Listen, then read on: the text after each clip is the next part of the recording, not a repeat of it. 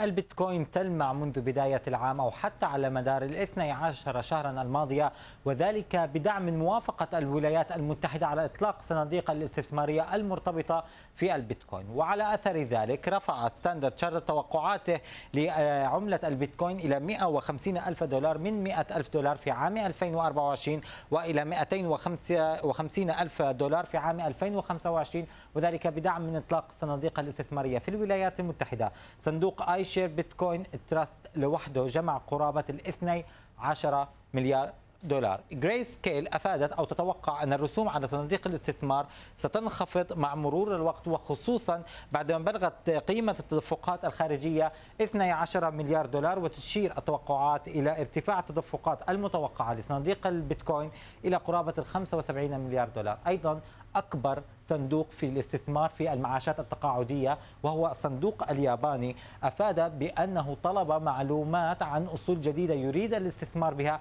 ومن ضمنها عملة البيتكوين. منذ بداية العام ارتفعت عملة البيتكوين قرابة ال 42.45 في المئة وعلى مدار ال 12 شهرا الماضية ارتفعت بأكثر من 130 في المئة.